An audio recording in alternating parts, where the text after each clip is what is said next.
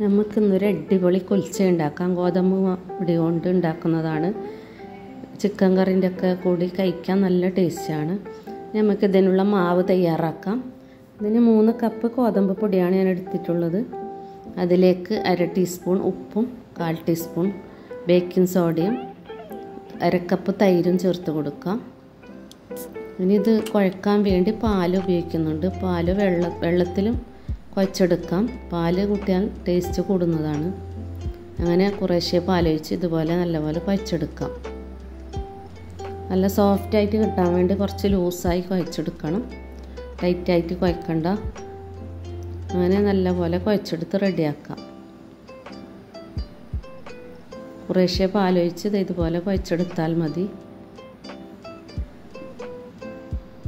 അങ്ങനെ മാവൊക്കെ നല്ല കുഴച്ച് റെഡിയായിട്ടുണ്ട് ഇനി ഇതിലേക്ക് കുറച്ച് ഓയിൽ ഒഴിച്ച് കൊടുക്കാം. വെജിറ്റബിൾ ഓയിലാണ് ചേർക്കുന്നത്. അതും ചേർത്ത് നല്ലപോലെ കുഴച്ച് മൂടി വെച്ച് അരമണിക്കൂർ വെക്കാം.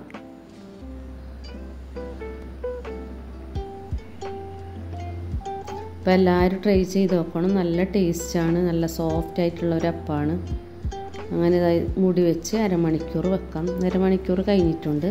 നമ്മൾ മാവൊക്കെ നല്ല സോഫ്റ്റായി കിട്ടിയിട്ടുണ്ട്. ഇതുപോലെ നല്ല സോഫ്റ്റായി കിട്ടിയിട്ടുണ്ട്. ഇനി നമുക്ക് ഇതിൽ നിന്ന് ഓരോരു പൂരിന്റെ വലുപ്പത്തിനെ പൂരിന്റെ വലുപ്പത്തിനേക്കാളും കുറച്ചധികം മാവെടുത്ത് റൗണ്ട് ഷേപ്പിൽ പരത്തിയെടുക്കാം. ഇതാ ചപ്പാത്തി പലയിൽ ഇതുപോലെ ആക്കി നല്ലതിൽ പരത്തിയെടുക്കാം. തിന്നായി പരുത്തണ്ട കുറച്ച് കട്ടിയിൽ തന്നെ പരുത്തണം. അങ്ങനെ ഇതുപോലെ പരത്തിയെടുത്ത് റെഡിയാക്കാം. ഇനി ഇതിന് മുകളിലായി കുറച്ച് കറുത്ത എള്ളും മല്ലിയിലും ചെറുതായി അരിഞ്ഞതും ചേർക്കുന്നുണ്ട്.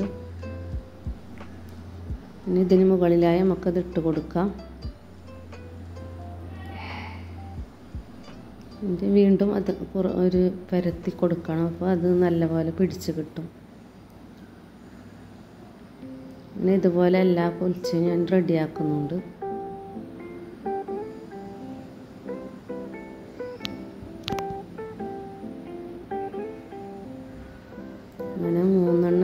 പരത്തി റെഡിയാക്കിയിട്ടുണ്ട്. ബാക്കിയുള്ളതെല്ലാം നമുക്ക് പരത്തിയെടുക്കാം. ഇനി തവ തവ ചൂടാൻ വെച്ചിട്ടുണ്ട്. ചൂടായി വരുമ്പോൾ അതിലേക്ക് ഇട്ട് കൊടുത്ത് നല്ലപോലെ പൊരിച്ചെടുക്കാം. ചുട്ടെടുക്കാം. ഇങ്ങനെ ഞാൻ വലിയ പാനാണ് എടുത്തിട്ടുള്ളത്. അതിൽ ഇങ്ങനെ മൂന്നെണ്ണം വെച്ച് കൊടുത്ത് മൂടി വെച്ചിട്ട് വേവിക്കണം. മൂടി വെച്ച് വേവിച്ചാൽ നല്ല പോലെ വെന്ത് കിട്ടും.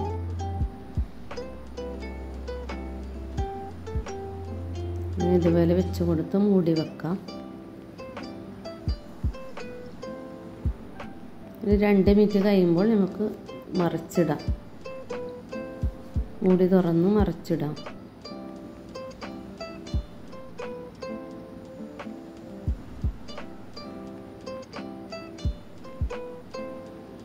വീണ്ടും മൂടി വെച്ച് നമുക്ക് അത്ത സൈഡും വേവിച്ചെടുക്കാം.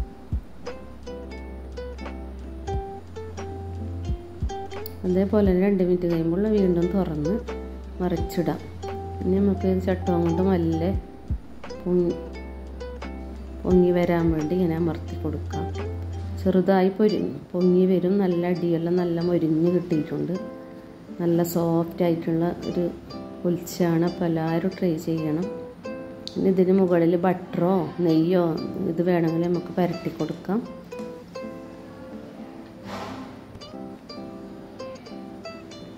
അങ്ങനെ ബട്ടർ ഞാൻ പരട്ടി കൊടുക്കുന്നുണ്ട്.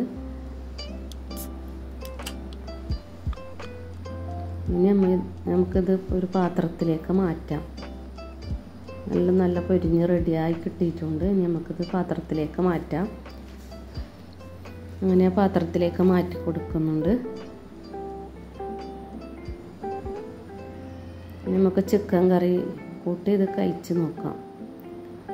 ഞാൻ പൊളിച്ച് കാണിച്ച് തരാം. അത് നല്ല ടേ സോഫ്റ്റ് ആയിട്ടുണ്ട് നല്ല ടേസ്റ്റുമാണ് അപ്പോൾ എല്ലാവരും ട്രൈ ചെയ്യണം. വീഡിയോ ഇഷ്ടപ്പെട്ടാൽ ലൈക്ക് ചെയ്യുക സബ്സ്ക്രൈബ് ചെയ്യുക. താങ്ക്